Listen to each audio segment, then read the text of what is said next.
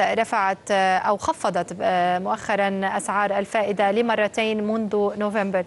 ها هي العملات الرئيسية أمام الدولار. الدولار الآن يسجل فقط تراجع ب 14% أمام اليورو كانت الخسائر أكبر من ذلك. كان وصل اليورو إلى 1.0519 في أدنى مستوياته. حتى الجنيه الاسترليني يمحو كل الخسائر أمام الدولار الأمريكي لأنه الجنيه كان فيه تراجعات خلال جلسة اليوم ويعود ليسجل ارتفاع. الدولار أمام الين متراجع الآن ب 0. واحد بالمئة كان وصل إلى 119.74 إذا هدوء للدولار أمام العملات الرئيسية. الجنيه على فكرة كان وصل إلى أدنى مستوياته في خمسة أعوام. الدولار الأسترالي ما يزال متراجع بقوة أمام الدولار الأمريكي لأنه بعد أرقام الصين الضعيفة بسبب العلاقة التجارية بين أستراليا والصين ونحن نعرف أن الدولار الأسترالي كان وصل اليوم إلى أدنى مستوياته في ستة أعوام. للمزيد. إذا أو قبل أن ننتقل إلى ضيفنا هذه الأسواق الأوروبية ال FTSE على تراجع بعض الشيء وال CAC Quarante على ارتفاع المؤشرين كان عند أعلى المستويات منذ 15 عام يوم الجمعة. ال DAX يتراجع عن المستويات القياسية التي سجلناها يوم الجمعة. للمزيد حول الأسواق العالمية ينضم إلينا مباشرة من أبو ظبي نور الدين الحموري كبير استراتيجي الأسواق في ADS Securities نور الدين أهلا وسهلا بك. لنبدأ مع ال pound كل القصة على ال pound هذه الأيام. آه في توقعات بأن نرى انهيار قوي لل pound خلال الفترة المقبلة. آه في ظل أنه ممكن أن نرى hung parliament آه في بريطانيا في الانتخابات العامة في, شهر مايو. حتى البعض عم يتوقع مستويات ال 1.35 ما رأيك؟ وعندنا أيضا نور الدين أرقام مهمة جدا يوم غد أرقام تضخم. ممكن أن نرى أول deflation أو تراجع للأسعار في بريطانيا منذ العام 1960 60 آه لا يمكن أن نعتبره انهيار بهذا الشكل الكبير لكن انخفاضات حد هذا الشيء قد يكون في ظل طبعا وجود ضبابية أو أكبر ضبابية في تاريخ الانتخابات البريطانية. كما إنه فيما لو حاولت تقوم بتسعير option نحو الأسفل أو عقود خيارات نحو الأسفل ب strike أو برقم مستهدف عند حوالي 1.40 هناك نوع من التكلفة العالية جدا وهو ما يشير في أسواق الخيارات إلى إنه الجميع أو هناك طلب كبير على عقود ال options نحو الأسفل بالنسبة للجنيه الاسترليني الآن فيما لو حتى لو شهدنا نوع من ال hung parliament لا زالت حرب العملات ستستمر من جديد وسنشهد مرة أخرى احتمالية استمرار كل البنوك العالمية بضخ المزيد من السيولة وأيضا تأثير على عملاتها انخفاضا. مستويات الجنيه الاسترليني لا زالت في الوقت الحالي هي 45 مهمة جدا التي لازلنا نقف عند مستوياتها لكن ما دون هذه المستويات قد يفتح بالفعل المجال لمزيد من الانخفاض. طيب الدولار يواصل الارتفاع أمام معظم العملات عودة هذه المكاسب القوية الأسبوع الماضي. أكيد يعني محضر الفيدرالي شجع المكاسب على الدولار. ما هي المستويات المستهدفة الآن لليورو برأيكم؟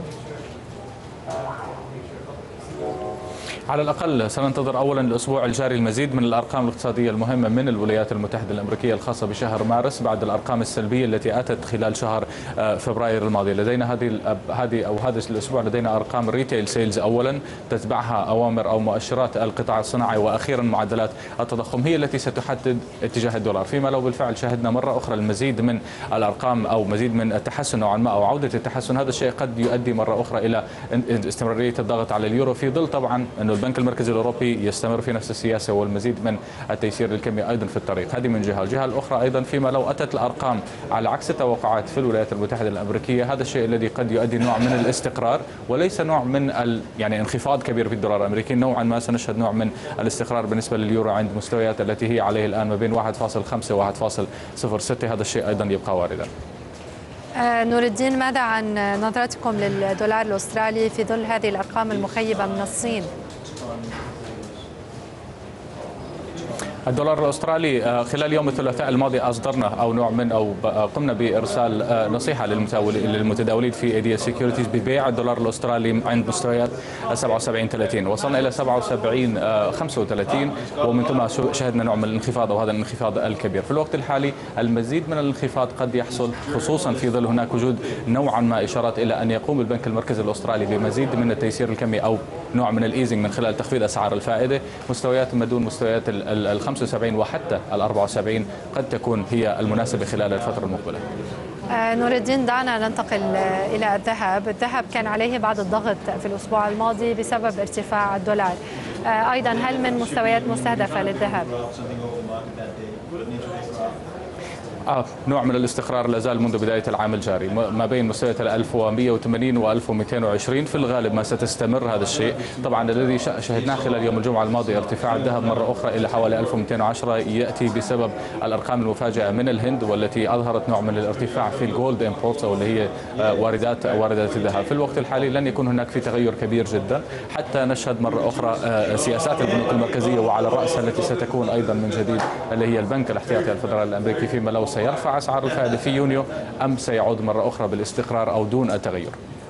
شكرا لك نور الدين الحموري كبير استراتيجي الأسواق في ADS Securities شكرا جزيلا لك.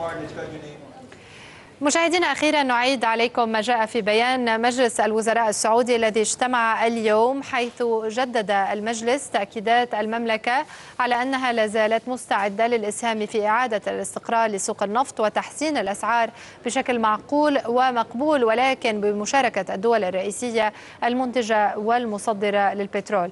بحسب أسس واضحة وشفافة عالية مشددا على أن المملكة وبشكل قاطع لا تستخدم النفط لأغراض سياسية ضد أي دولة وأنها ليست في صراع تنافسي مع النفط الصخري أو غيره بل ترحب بالمصادر الجديدة التي تضيف عمقا واستقرارا للسوق.